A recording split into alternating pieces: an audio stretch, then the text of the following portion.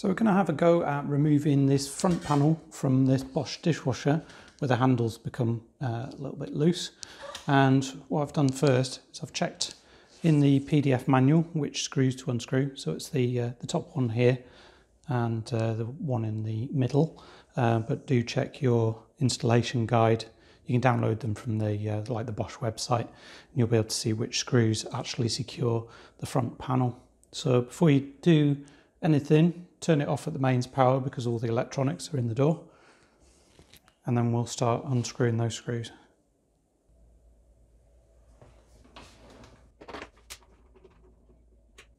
So I've undone the screws at the, the bottom there, that top corner and down at the bottom left. But I've left the one on the top right corner.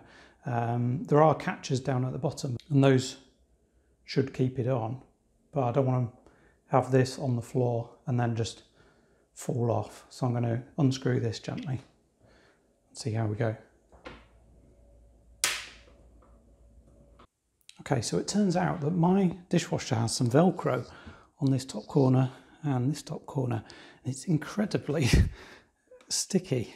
Um, it really has kept it in place. You can kind of see it down, just down there.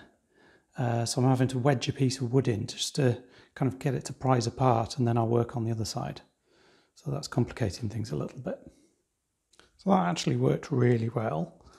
Being able to detach it from the Velcro down there and I just need to do the same on the other side.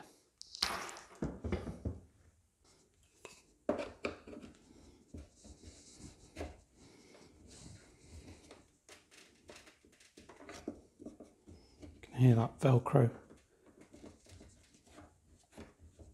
loosening up.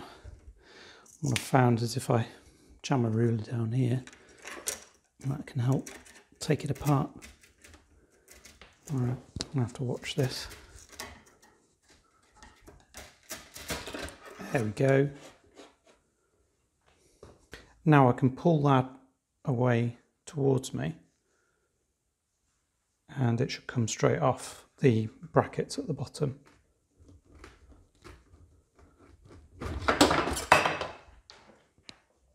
There we go. So it's held on using those brackets there and we can access the, uh, the handle now to fix that back in place. Anyway, should be simple to get it back together. Just hook those back onto the brackets uh, and then stick the screws back in. Hopefully that helps somebody in the same position as us trying to figure this out. Anyway, thanks for watching.